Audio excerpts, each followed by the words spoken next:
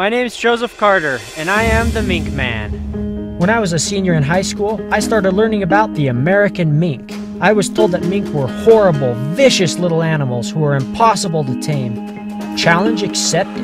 I've been in love with mink ever since. I get mink from fur farms and give them a new life. In this new life, my mink live as naturally as possible, even hunting for their dinner the way a wild mink would. So come join me on my adventures as we learn more about this intense little predator, the amazing American mink.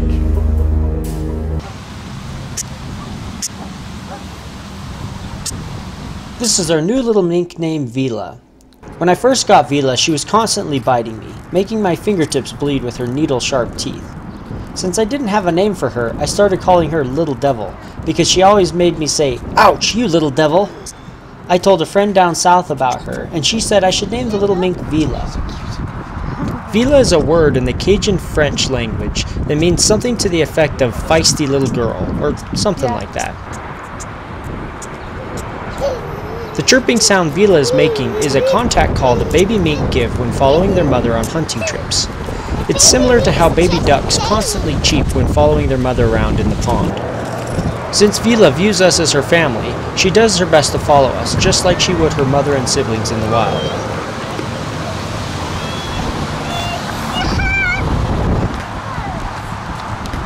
Mommy, look it!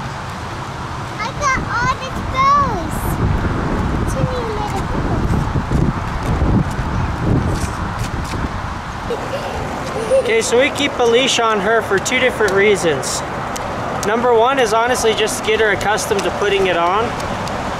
And number two, when we're going for a walk, it's easier to keep her from getting stepped on or following the wrong person. So the main thing is though, you want to get practice putting that leash on multiple times every day because when they're older, they hate it. But if you start when they're little, then usually they'll tolerate it. Some even kind of almost seem like they like it as far as not the putting on, but they'll they'll help you put it on because they're so comfortable with it and they know the leash means they're going somewhere cool. But if you wait and not put it on when they're teeny tiny like this, then it's going to be a battle the rest of their life. They just hate putting it on. They hate holding still, and so anyway, we're going to take the leash off now and let uh, little Vila have some fun in the water, if she will. Let's see what she does.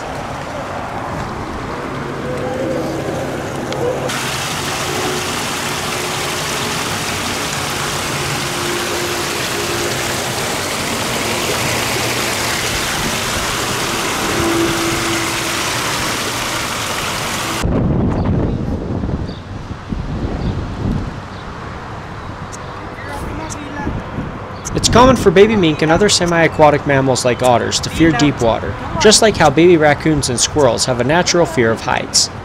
This fear helps to keep the young mink careful, so it doesn't try to swim before it's old enough to safely do so. Oh, it sees me. She's like, oh, you're not in the water. I'll go see you. Hey, look it! Vila! Vila, come on!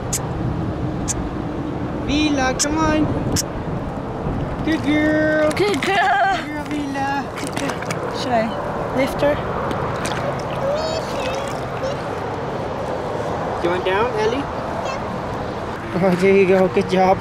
Good job, Vila. Good job. You did it. You went swimming. Girl. Good girl. You're growing up. You went swimming. Oh, good girl. Yeah, that's a good girl. Oh, don't bite my nose. No, no biting my nose. good girl. Going swimming. You're going to go in my shirt. Oh, there she goes. Ching, ching. Oh, cold, wet mink. There we got her to swim. It's her first swim. She's growing up. Vila, come on. Vila, come on. Good girl. Oh, good girl. Good girl, Olive. You gotta pay attention. Hold on, Vila's climbing. Trying to climb. After swimming, a mink's natural instincts tell it to dry off, so they love to rub themselves on the nearest dry object, which often ends up being their human friend.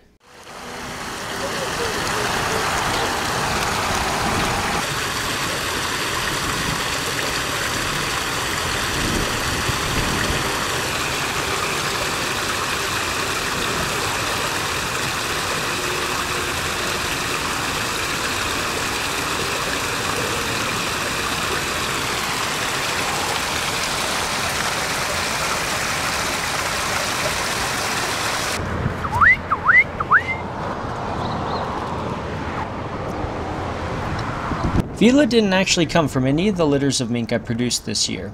Unfortunately, there are people who get pet mink without being prepared for the challenge ahead of them. They see mink as cute, fuzzy little animals, which would be fun to cuddle and play with. After all, ferrets make great pets, so why not the fun-loving aquatic cousin to the ferret? What they don't understand is that ferrets have been selectively bred for calm, tame temperaments for well over a thousand years.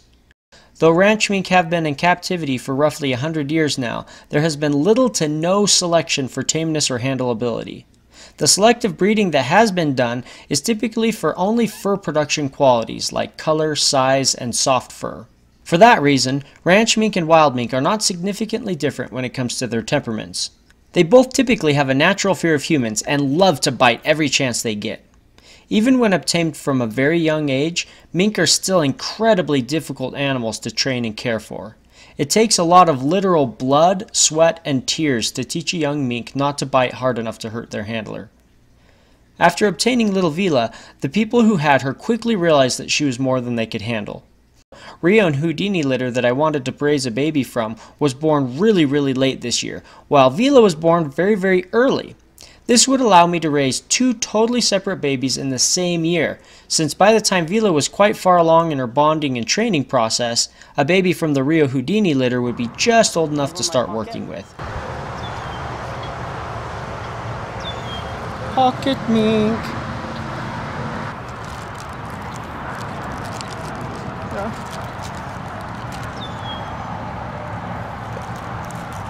you want to go up here instead? Get warmer.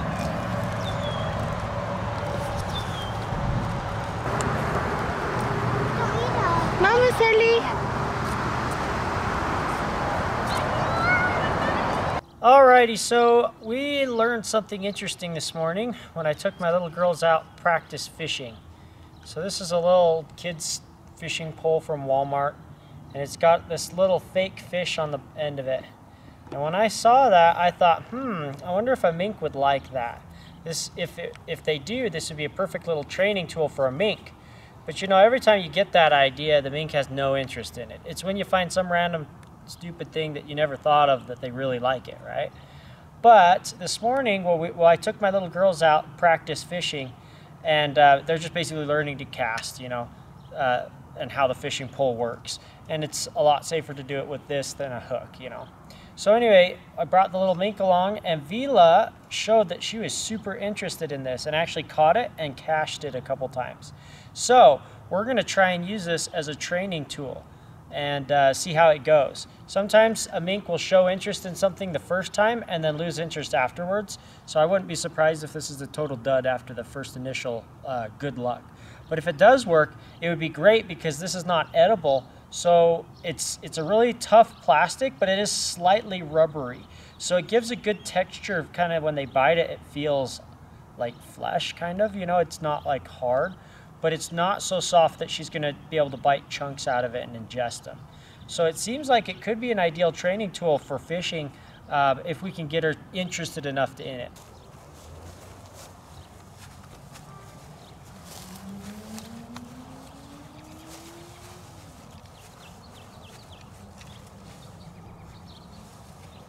Her interest is pretty mild. Yeah, sometimes it's just a fluke. They'll get interested in something and then they lose interest. She's gonna do a feather. Heck, I'll, I'll, I'll, I'll reward you for it. you want to take something in there? I'll, I'll reward you for it. right now, we just want to learn the concept. She gets rewarded for taking stuff to the box, so I'll give it to her. I'm gonna try dipping this thing in meat. Maybe it'll be more appetizing if it smells like food.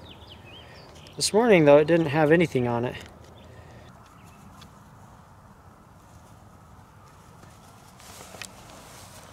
And she likes it once it smells like meat. Aha, she knew it was coming. Good girl. She turned around for it, waiting, anticipating the feed. That's good. She's starting to understand the game.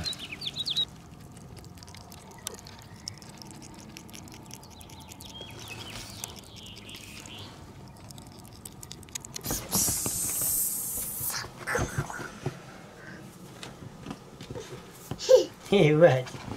You like watching the mink play? She doesn't know if she wants to attack Pooh Bear or Lammy. Can't decide whether she wants to attack Pooh Bear or Lammy. Okay, good. Okay, okay. Miss him. Miss him. Hi. Her markings are so pretty. She has a diamond in her chest. Mm-hmm. I'm gonna try. No, you can't jump in bed. The mink's in your bed. That me. Don't miss next time where we introduce Vila to catching fish in our 100 gallon aquarium.